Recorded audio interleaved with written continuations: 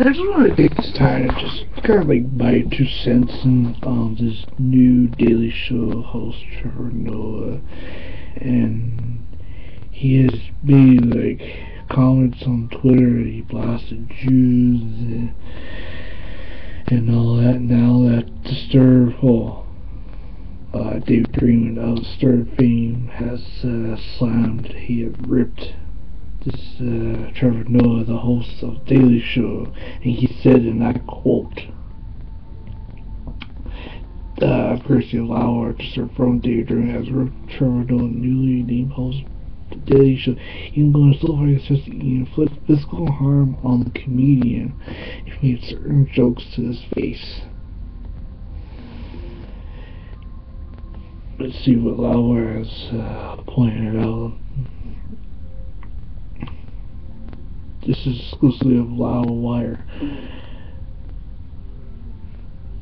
Uh, disturbed advice from David Durant passionately kind of expressing his views on different social and political topics. Recently, that led Dream to hop on the schedule new host is Trevor Noah, who has taken some heat posting controversial tweets about Jews over the past week, over the past years. To take over inspiring Daily Show host Stewart. His tweets posted over the last six weeks include almost both the Jewish kid crossing the road he didn't want before before crossing, but I still felt so bad and my so bad in my German car.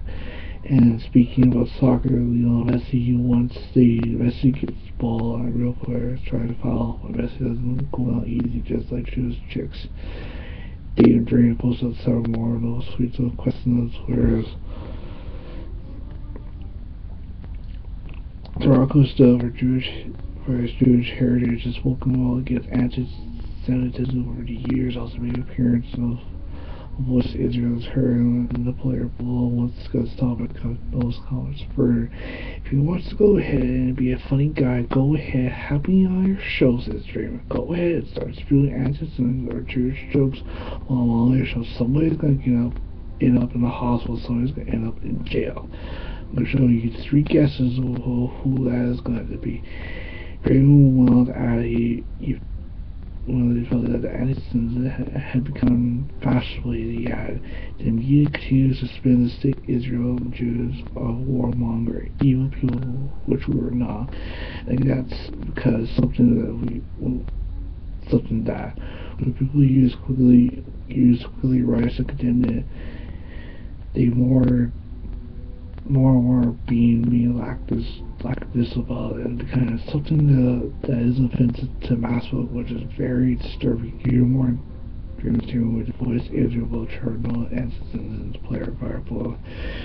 Let's just take for a second just the reason why um you know the thing about Trevor Noah nothing against him just because he he's a comedian, he made jokes about Jews and all, and, and, and that really upsets people. That upset David Drake and uh, the Stir device.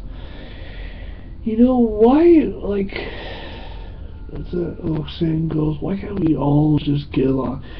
Why, like, how is a guy like Trevor Noah, who just became the host of The Daily Show, you posts all these controversial tweets about Jews and all that, you know what? Like I said, nothing against Trevor Noah. He's a well, he's a well good guy. He's a well great comedian. I, I, I'm, I highly uh, express him as a really great person, a really great uh, replacement for Jon Stewart. But making all these tweets about Jews and all that, it's like Where's the uh, expression goes? We live. We, it's a freedom of speech. We're supposed to say what we want. Oh, just because it uh, it uh, gets on people's skin and, and, and it really just it really just makes other people kind of like angry. Like, oh, this person said that.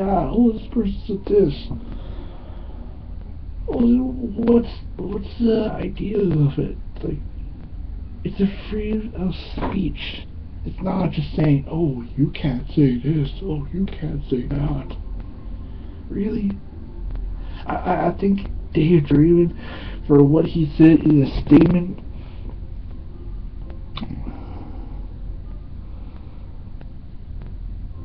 Just to reiterate what Dave Draiman said in his statement, according to Trevor Noah. If he wants to go ahead and be a funny guy, go ahead. Happy on your show, says David Draiman. Go ahead and start spooning your anti-Semitic or Jewish jokes while on your show. Somebody's gonna end up in a hospital. Somebody's gonna end up in jail. I'll give you three, guesses who that's gonna be. I think David Draiman. I think he had. I think he really crossed the line because you can't say that to a host on a show. Say, "Oh, if you're gonna say that." start start spilling your anti-Semitic jokes while on your show. I'm gonna put you in the hospital. I think that's a.